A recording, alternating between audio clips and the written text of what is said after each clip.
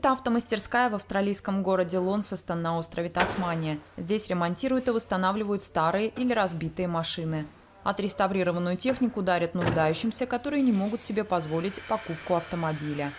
Мы начали 16 лет назад с сотней долларов и надеждой приобрести хотя бы одну машину и несколько инструментов.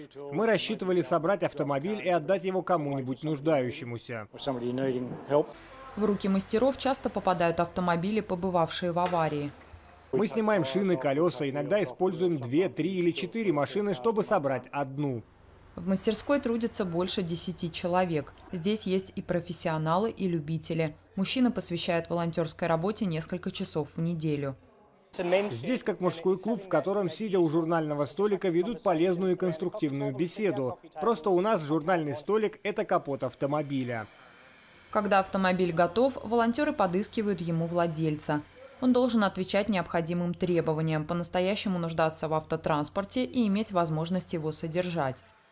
Отдавать машину нуждающимся очень важно, потому что в настоящее время общество расточительно и использует одноразовую продукцию. Мастера продают некоторые машины и запчасти, чтобы поддержать работу благотворительного проекта.